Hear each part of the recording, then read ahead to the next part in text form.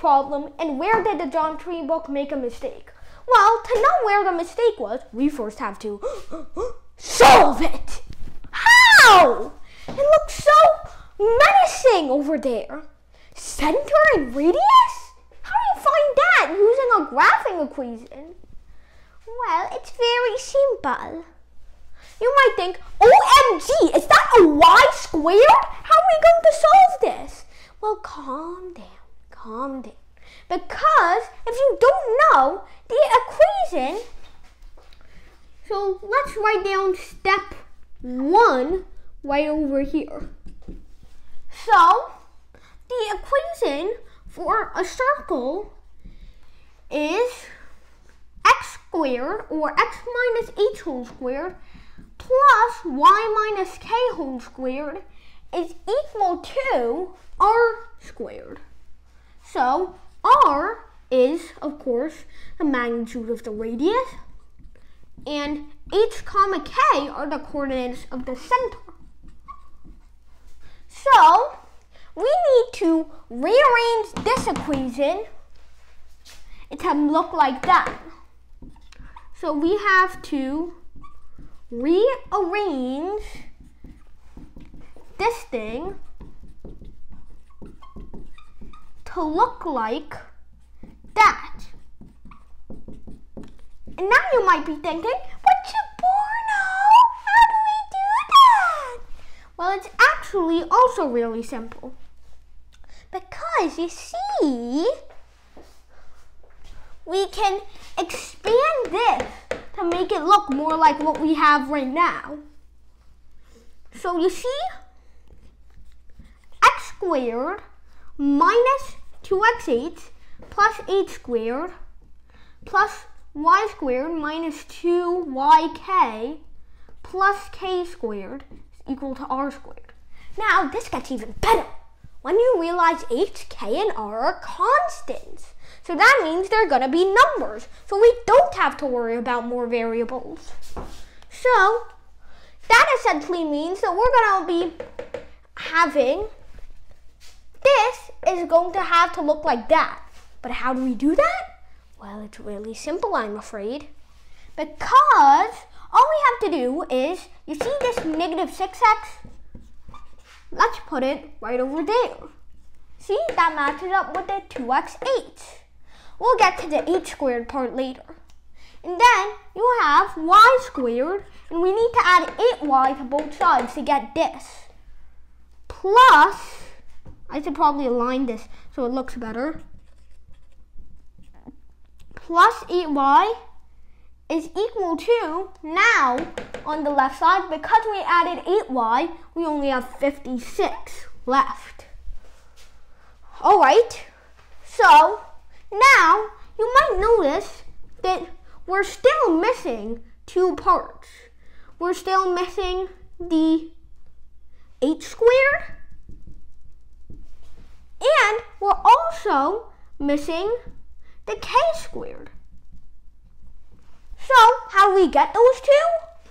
Well, it's really simple, and I'll show you that in step two. So, let's get on right this way. After a lot of unnecessary drawing, we have come to step two. All right. So, what are we gonna do? Well, remember, in step one, we had this issue, that h and k squared thing. So, on our to-do list, we have to find h and k to make sure we know what the values of h squared and k squared are.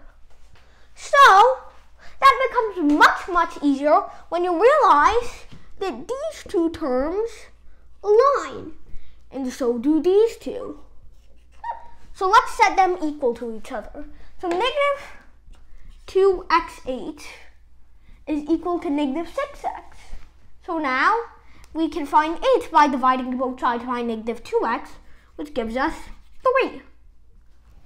And then you have k.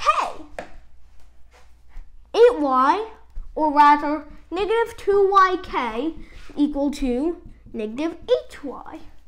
So now, or positive 8y. So now we divide both sides by negative 2y and we get k equal to negative 4. Alright, so now means that h squared is 9 and k squared is 16. So we're going to add 9 and 16 to both sides. So minus 6x plus 9 to complete the square. okay, no, it's not that plus y squared plus 8y. And then to complete this square, we get k squared, 16. And that's equal to 56 plus 9 plus 16. So now this is going to be factored, which gives us x minus 3 squared and then this is going to be factored, giving us y plus 4 squared. And adding up all these terms gives you 81, which, no coincidence, is 9 squared. So that means that the coordinates are 3 comma negative 4, and the radius is 9. However, where's the mistake? Well, somehow, some way, when converting from here to here, here, I'll write it again so you can see this. And they factor it. So they realize that this is equal to 81, of course. x minus 3 squared plus y plus 4 squared. And then suddenly, that 81 becomes a 9. No squared, just a 9. And then they say r equals 3 because r squared is 9. I don't know where they got that from because even the official NYSED website says that this is wrong and that is correct. So, thank you everybody for watching. Don't buy Barron's ever again, and we'll see you.